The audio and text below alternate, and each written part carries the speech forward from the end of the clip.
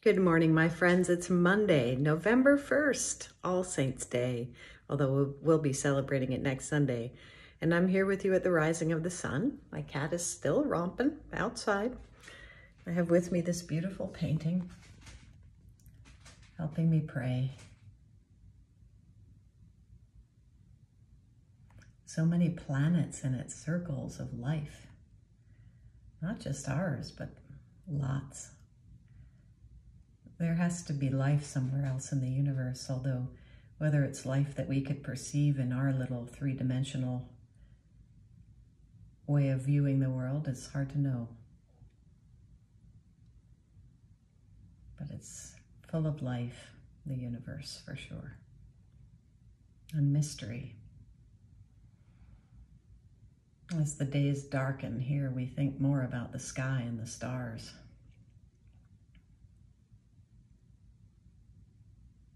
The infinite universe.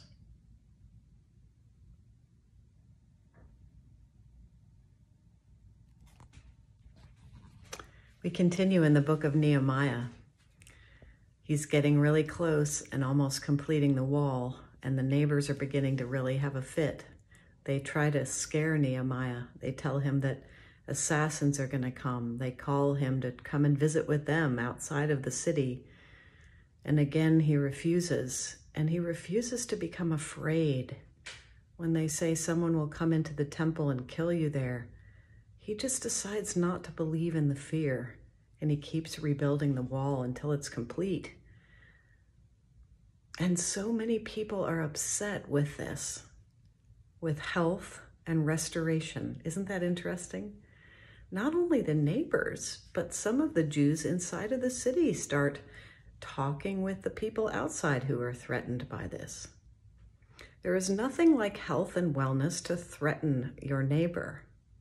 In fact, the more you do the will of God, the more you're liable to face opposition from people who are threatened by you, whether it be through gossip or maligning or just being difficult. The roadblocks, in fact, increase the more that you come closer to doing God's will. After all, look what happened to Jesus. so Nehemiah not only rebuilds a wall, but he fortifies himself against the temptation of fear and panic. He refuses to give in to fear.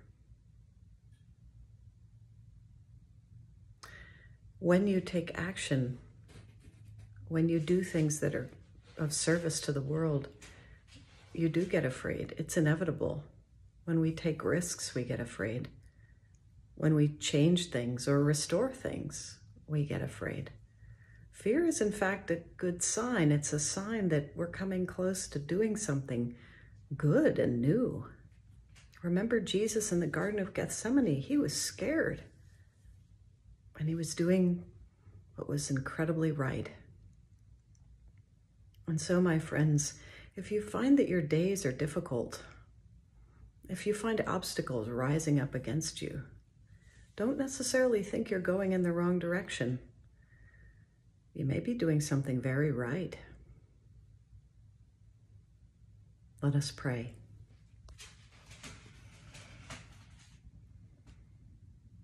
Almighty God, we thank you for this day. We thank you for the mystery of serving you. We ask you to give us courage, for fear is part of the spiritual life, and the closer we come to really letting go of our selfish ways, the more we will be afraid. But help us to put our trust in you.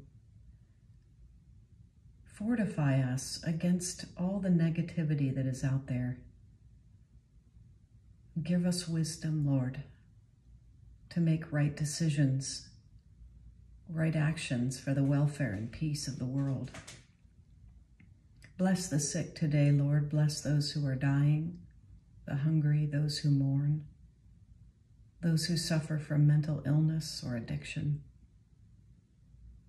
Guide us each day to do the work that you would have us to do and blanket this earth with your grace This we ask in the name of Jesus, your Son. Amen. God bless you. Be strong and get out there and have a great day.